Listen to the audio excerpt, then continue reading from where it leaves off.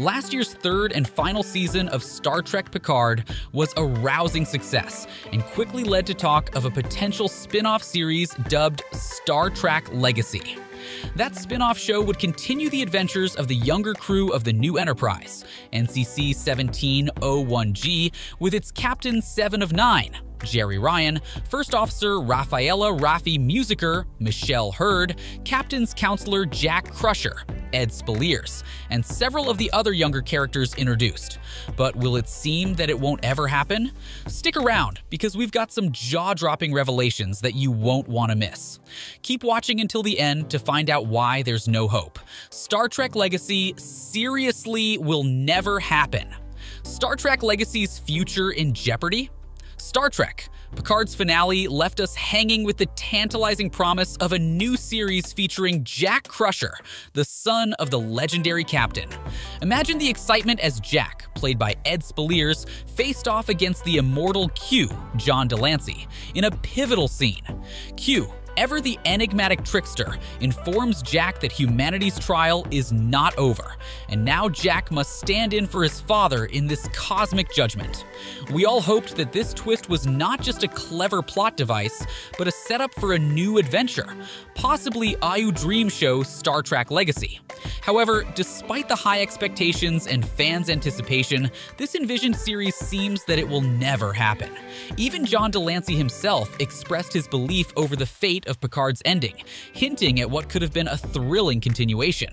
In an interview with TrekMovie.com's All Access Star Trek podcast, de Lancie hinted at the missed opportunity, saying, Well, most post credit scenes are a setup for something else. So I took it as that. In reading it, I went, Oh well, there it is. There is the baton. There's the jump off for the next show. I don't think at this point it will happen. There was a fun period of time that it looked like it could happen. But then there was the writer's strike, which took a lot of people's attentions away. I don't think that they expected that season 3 was going to be as good and as well received. They had already decided on another show. They were already moving in another direction. But it was certainly a really valiant and well appreciated finale to the next generation. de Lancie's words paint a somber picture, suggesting that Legacy is unlikely to see the light of day. It appears that despite initial hopes, the path to Legacy has been diverted, but alas, it seems that Legacy's journey has hit a roadblock. Terry Matalas, the showrunner for Star Trek, Picard Season 3, and the visionary behind the proposed spin off, Star Trek Legacy, confirmed that Star Trek Legacy is not in development at Paramount Plus. Despite the enthusiasm from Matalas and members of the Picard cast, including Gates McFadden and LeVar Burton, for Star Trek Legacy, there's been no progress. In an interview with Screen Rant, Matalas clarified, Let me be clear, there is nothing in development at Paramount. Again, I need to be clear on this. This is just a pie in the sky wish on my part. There is nothing in development. It would be amazing if one day they came to me and said they were interested, but as of press time, it's little more than a, hey, wouldn't that be neat? But hey, stranger things have happened. Also, in another recent interview with Trek Movie, Matalas confirmed that there has been no movement and hinted that Legacy may be dead in the water.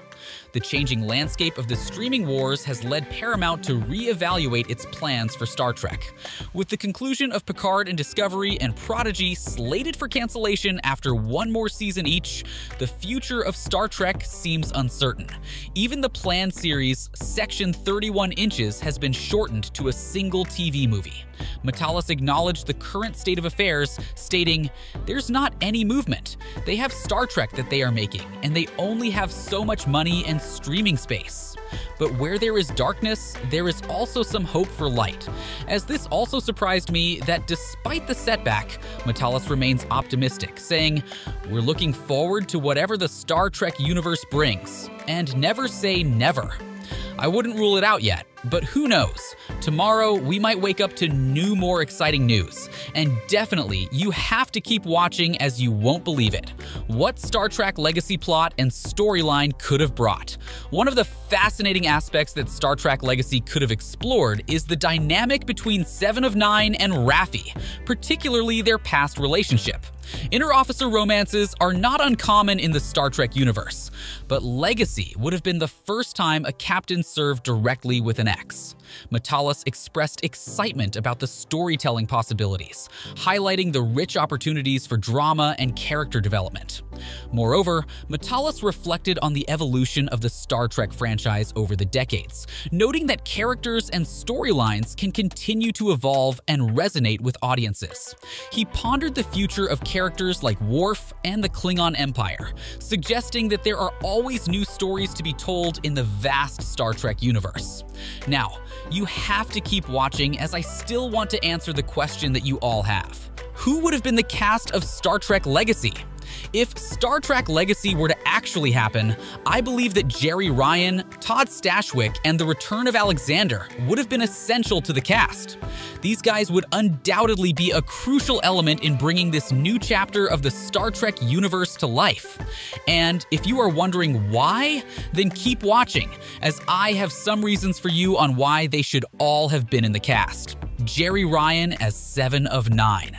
Jeri Ryan's portrayal of Seven of Nine has been nothing short of transformative. From her early days as a Borg drone on Voyager to her evolution into a respected Starfleet captain, Seven's journey has been one of the most compelling character arcs in Star Trek. If Star Trek Legacy had come to fruition, Jeri Ryan's return as Seven would have been a cornerstone of the series, offering fans a deeper exploration of her character's growth and the challenges she faces as she commands the USS Enterprise G. Todd Stashwick as Captain Liam Shaw.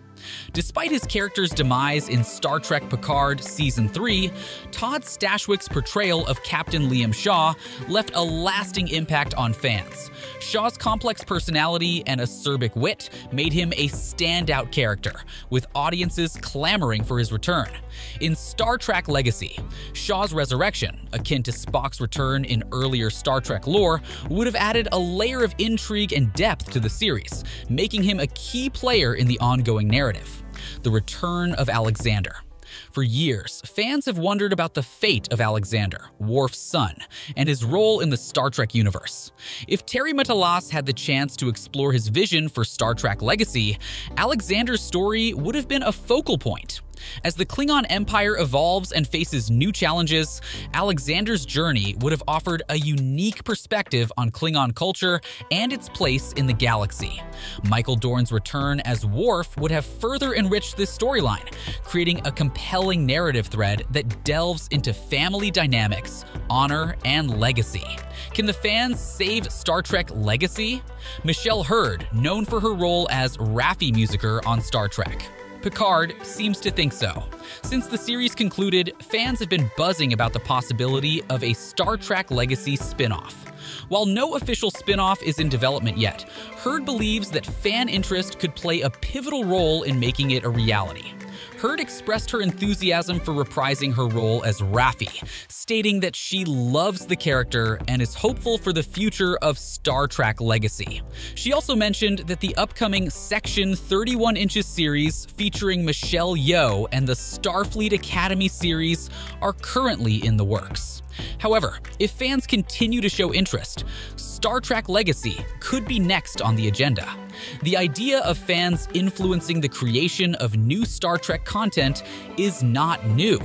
Campaigns and petitions have been a part of the franchise's history, with notable successes such as the announcement of Star Trek Strange New Worlds following fan campaigns.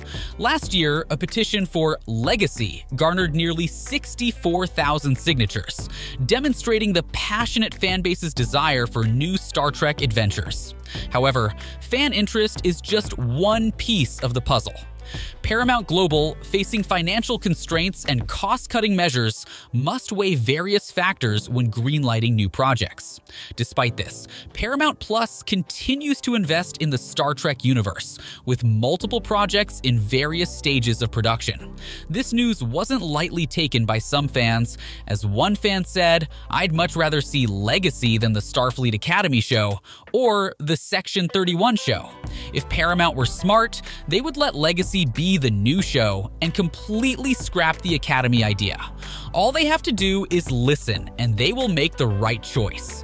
Another fan still has hopes that the show will happen, and he said, It needs Terry to be showrunner, to bring that same magic, if you will, as he did with Picard Season 3.